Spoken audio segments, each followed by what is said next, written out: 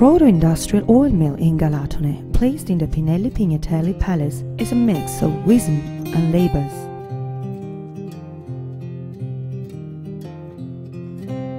From the exclusive architectonic point of view, the oil mill is stunning for its size and its sumptuousness. It has a quadrangular layout of about 600 square meters and it is divided in 16 spans covered by starry vaults.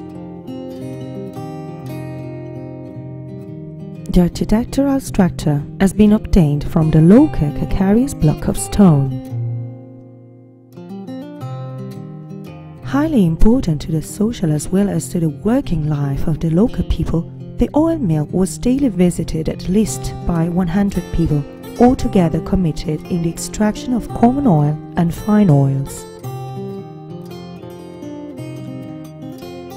Presence of 72 gas lamps allowed the grinding night and day. This gas was produced by the combustion of processed vegetable scraps in a half-buried boiler. Today, it represents the last example in the province of Lecce of a well-equipped structure for a continuing job.